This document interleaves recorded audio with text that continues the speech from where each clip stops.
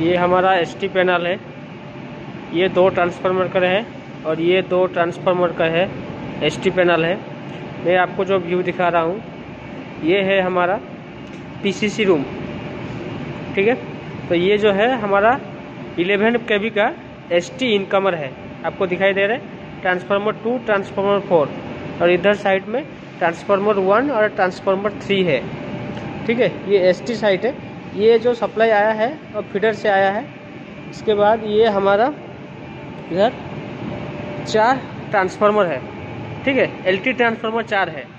हमारा इधर एक इनकमर है ये दो इनकमर है और उधर दो इनकमर है ठीक है तो इसमें ये जो पैनल है, इसमें दो इनकमर रहता है। इधर एक इनकमर बीच में बस कपलर और उधर इनकमर वन और इधर इनकमर टू और ये बीच में रहता है बस कपलर सेम उसी तरह उधर साइड में भी रहता है incomer one incomer two and bus coupler तो ये पूरा पीसीसी रूम का पावर सप्लाई रहता है।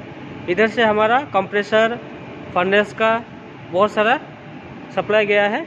और इधर साइड में एसटी है। एसटी में 11 का भी इनपुट है, ठीक है? तो ये आया है एसटी साइड से। 11 का भी इनपुट है।